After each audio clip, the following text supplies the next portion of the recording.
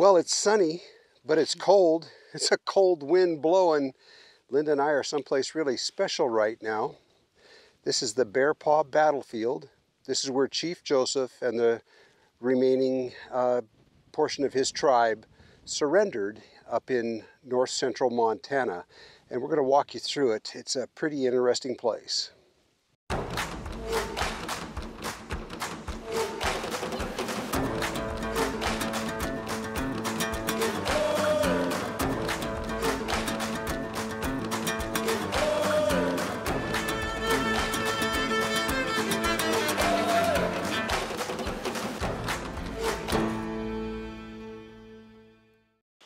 What's the kind of day that's hard to dress for?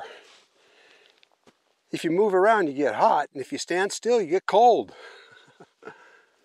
the events leading up to this battle actually began in the eastern part of Oregon in the Wallowa Valley. Just a beautiful, beautiful place.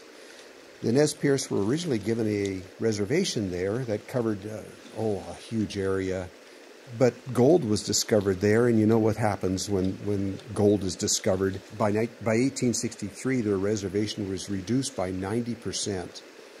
And then gold discoveries kept happening, and pretty soon the Nez Perce were actually forced out of the Wallowa Valley. When they first left the Wallowa Valley, they were about 3,500 in number.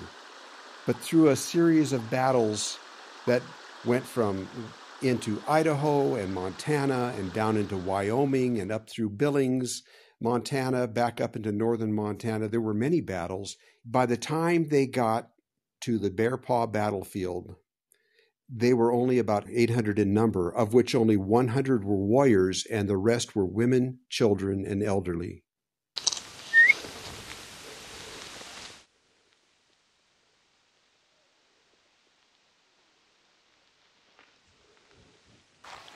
Well, when the Nez Perce got here on September 29, 1877, they're just 40 miles shy of Canada. And that's where they were hoping to find refuge. They had been on the run for 126 days. They thought they were well ahead of, of Gibbon and his men, and uh, they thought they could take a break, uh, get maybe uh, shoot some buffalo and dry some meat and just prepare for the coming winter. This says Chief Joseph's Teepee. And this is the site of where that was. Very few of them had teepees. There was only a few left. They had lost them at the Battle of the Big Hole. And most of the people were just putting up little lean-to shelters or blankets that they threw over the top of bushes, whatever they could find. All they had was blankets. They had also lost many of their horses so many of them had to walk the whole way. Many of them were camped on the flat right here.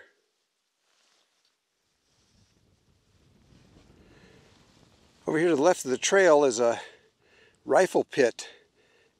They dug that with sticks and butcher knives and um, trowel bayonets that they had gotten at the Big Hole battlefield. That's a big deep hole in the ground.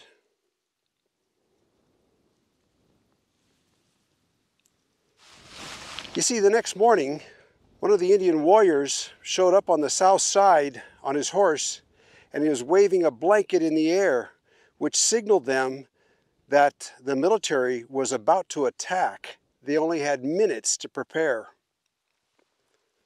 Colonel Miles and 450 men had ridden 260 miles in nine days to get here, pushing all the way. This is the site of Chief Looking Glass's teepee.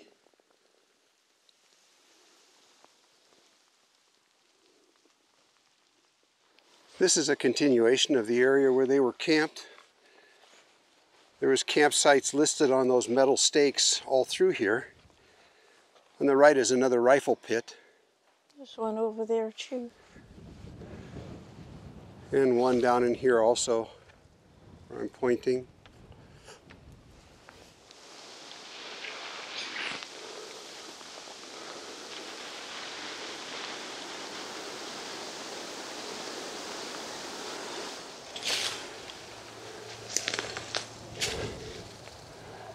This is a sacred place Some of the Native Americans of the Nez Perce tribe that were killed in the battle are still buried around here in unmarked graves.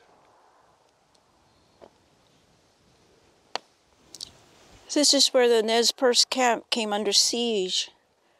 Yellow Wolf reflects evening, and the battle grew less, only occasional shots. Soldiers guarding, sitting down, two and two. Soldiers all around the camp so that none could escape. It was snowing. The wind was cold. About 450 men, women, and children retreated to the north end of the camp. On the flats and the sides of the coulees, the ground became frozen as rain turned to snow and temperatures dropped.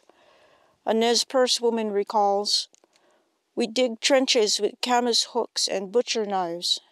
With pans, we threw out the dirt. We could not do much cooking.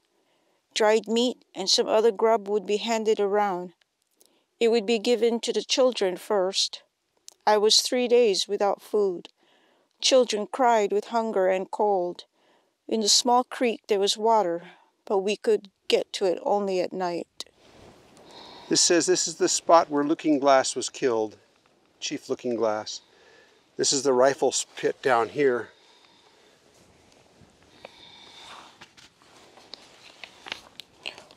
Ollokot, Lean Elk, and other warriors met the soldiers as they advanced along this bluff. The fighting was intense and made worse by low clouds and drizzle. The army was stopped, but the Nez Perce suffered serious losses as 26 died the first day. On the west edge of the bluff, a marker identifies where Ollokot, Joseph's brother, was killed. Across the coulee to the northeast, Lean Elk was mistaken for an enemy in the severe weather and killed by another Nez Perce. His warning to Looking Glass had come true that neither would leave this place. Yellow Wolf remembered October 2nd as the day Chief Looking Glass was killed. He says, Some warriors in this pit with him saw at a distance a horseback Indian. One pointed and called to Looking Glass, Look, a Sioux! Looking Glass stepped quickly from the pit, stood on the bluff, unprotected. A bullet struck his left forehead and he fell back dead. Looking Glass was hopeful help had come from the camp of Sitting Bull in Canada. So Looking Glass was right there in that rifle pit. And that's where he stood up from on this very spot. And this is where he was shot dead. A lot of you uh, have mentioned that, or have said that Linda is Native American. She's not. She's uh, Okinawan, that's like, uh, politically, that's Japanese. But they're different than Japanese. and Linda's not Okinawan from Okinawa. She's born and raised in Hawaii, as was her mother. Her father came over when he was a young man. That was a long time ago. Yeah. but Mama was born and raised in Hawaii. We've been there for generations. I don't know anything about being Okinawan. um, from where we're standing here, it's, uh, it's a spot known as negotiations or, dece or deception. And on the second day, the cavalry, or Joseph, uh, approached the cavalry with a white flag, approached General Miles with a white flag, and they wanted a chance to um, pick up their dead. I think they had lost like, I think 23? 26. 26 uh, Nez Perce and don't know how many on the uh, cavalry side, but they wanted a chance to pick up their dead and their wounded and, and take care of them. Well, when that was over, um, General Miles called Chief Joseph back and placed him in chains. Yeah.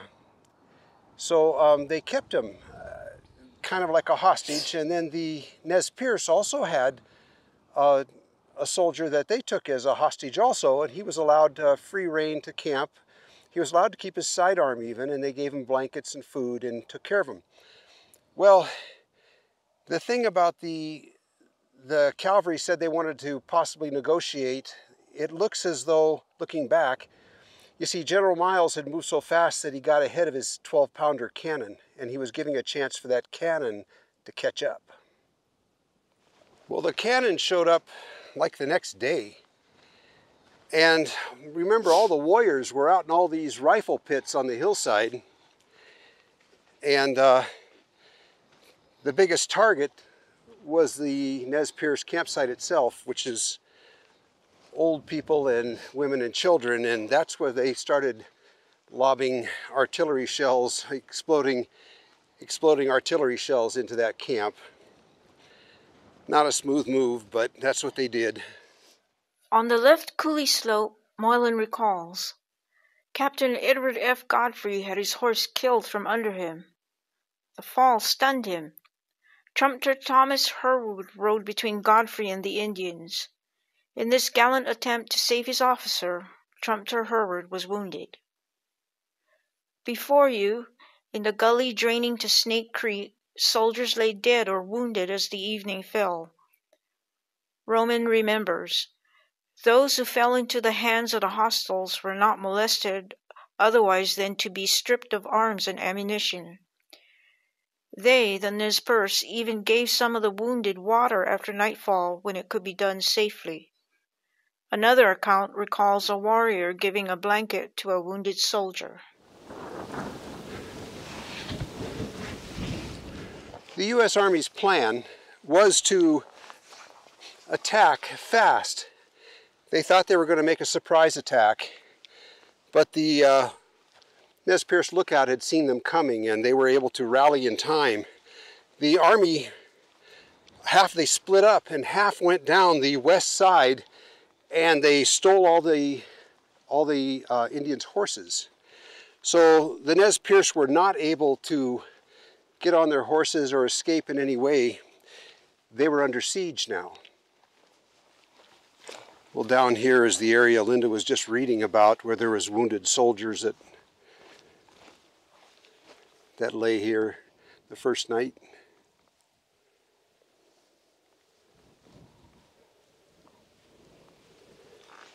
Linda and I came here the first time oh, when we first moved to Montana and has like 20 years ago or more.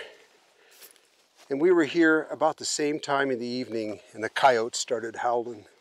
We were here all by ourselves and what an amazing experience that was. It's nice to come back. I've been back a couple times since, but it's good to remember our history. Right, and so we don't repeat it. That's the idea, and it is a shared history. Much of the initial fighting occurred along this narrow bluff overlooking the Nez Perce camp. Romeyn recounts. At the south end of the campground, there was a perpendicular bluff that afforded excellent cover. This was instantly occupied by the Nez Perces, who, withholding fire until the 7th Company A and D were within 200 yards, then delivered it with murderous effect. Wherever the Indians heard a voice raised in command, there they at once directed their fire. After retreating, Miles ordered the cavalry to dismount and reinforce Company K. Fire was directed toward the bluff on the west side of the coulee. The Nez held a position of advantage. The Fifth Infantry came up and was halted at the crest. Here it was met by a hot fire from the coulee, and men and horses began to drop before they could dismount. The Hotchkiss gun was brought up near this location and was soon driven from the position with severe loss to its gunners. Only hand to hand combat with units of the U.S. Fifth Infantry forced the Nez Perce to yield the high ground. Romeyn continued. By three o'clock, it was evident that the attack must become a siege. Up here and up here we're controlled by the Nez Perce, this hill here. And off through the cut here, down in the coulee, a coulee is a low spot or like a valley or ravine, where you see those cottonwood trees over there, that was the main encampment of the Nez Perce. and the military was attacking from behind me. They came from This way. is looking the other way, yeah. Which way, Linda? From that way, I guess. From the south, yeah. Yep. Pretty much the U.S. Army had them completely surrounded. So yeah, it was a siege. They could only get water at night, but the problem was the water was freezing. So even that didn't go so well. This is a hastily dug trench where the soldiers that were killed with bat in battle were were interred for a while. Um, they were buried here during the battle, and they the army had set up a tent where they were the surgeon, the army surgeon surgeon was taking care of the wounded. But the trench here where they buried the, uh, the dead still remains to this day. In 1912, they were disinterred and they were moved to the uh, cemetery at the Little Bighorn battlefield. Hard to imagine what that was like on during those days. Well, it seems to me the Army didn't want to be out here doing this and the Nez Perce didn't want to be running either they're all pretty much done. The Nez Perce were hoping to make it into Canada where they, they felt that they could leave all this behind. That, that wasn't true either, but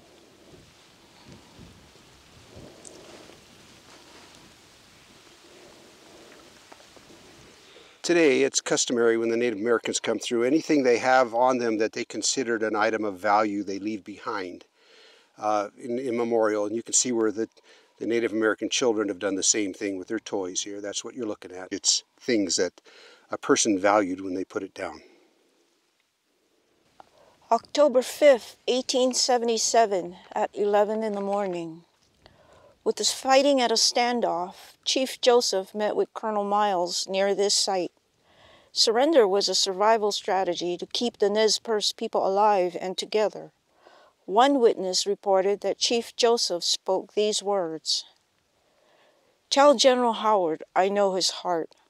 What he told me before I have in my heart. I am tired of fighting. Our chiefs are killed. Looking Glass is dead.